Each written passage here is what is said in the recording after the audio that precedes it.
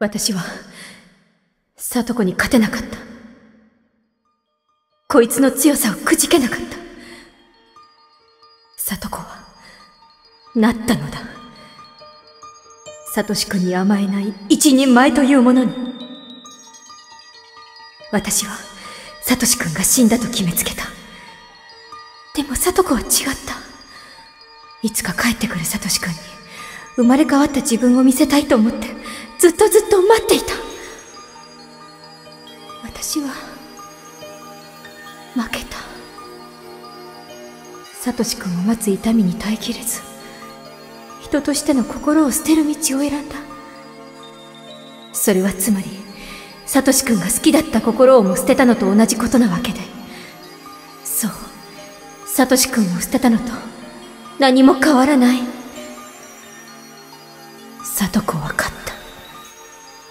里子のまどろんだ表情。そのまぶたの中には、きっとサトシ君がいる。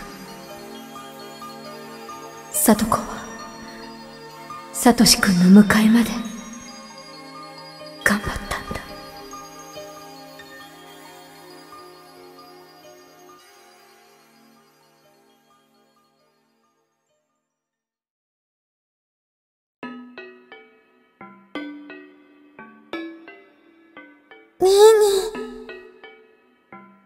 ーサトコもう泣いてもいいんだよ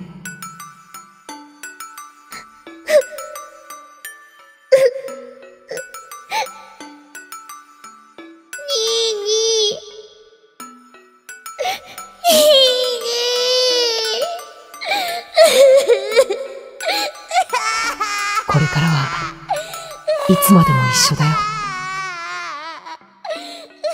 サトシ君。私も待ってたんだよ。シオ。僕は君にお願いしたことがあったはずだよ。え、お願い？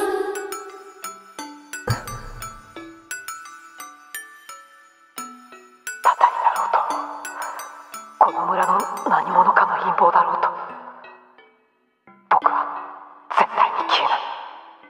消されない。消えないよサトシ君は。これはいつの思い出そうだ。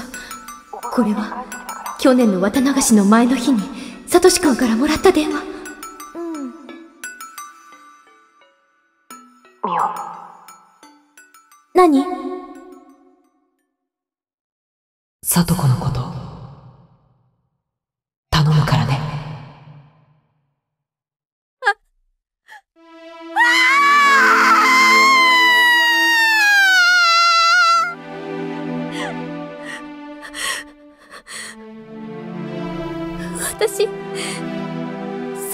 に、頼まれてる。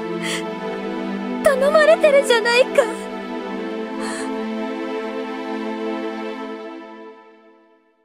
何なの？私は何なの？サトシ君の帰りを信じず、私を頼ってくれたサトシ君の、最後の、たった一つの頼みさえ、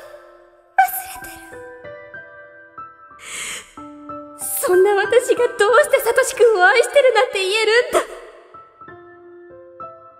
私は、サトシ君が帰ってくると、サトシ君が生きていると信じなかった。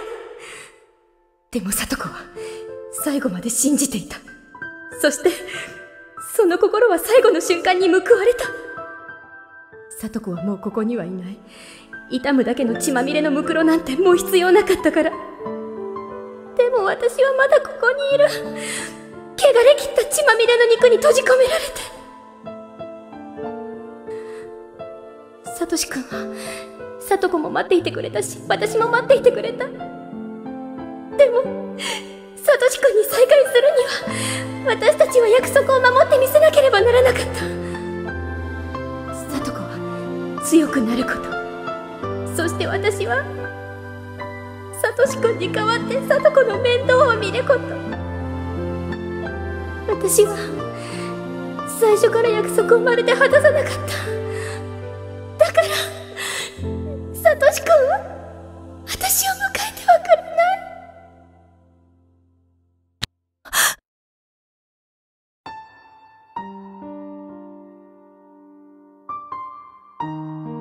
自分の後ろに気配を感じる。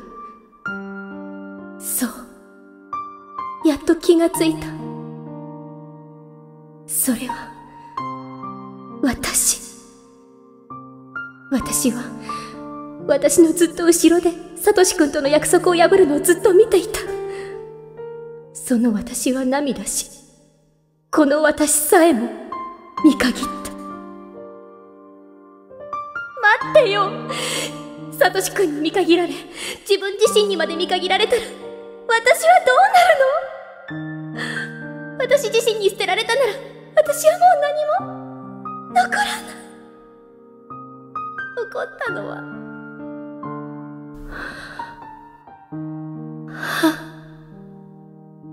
なんだ。自分でも知ってたじゃないか。そうさ。もう私は、鬼なんだ。シオ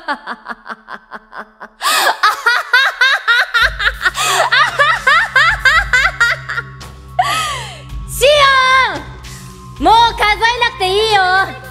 サトコはくたばったから。ご苦労さん。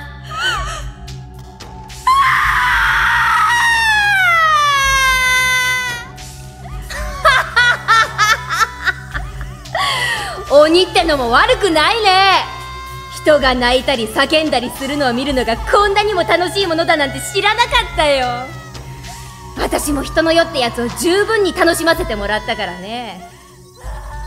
そのうち自らの命を絶って鬼の国へ帰らせてもらうよ。でも安心しな。その前にちゃんとあんたは殺していく。そうだ。あんたはケイちゃんが好きだったね。よし。あんたの前でケイちゃんを引き裂いてあげるよ。これは極めつけだね。その後にあんたを殺し私も殺そう。そうさ。鬼ヶ淵村は鬼の村。私もまた伝承の鬼たちのように猛威を振るいそしてお社様の裁きを待とう。それでこそひなみ沢村にふさわしい災禍と言えるだろうね。あっ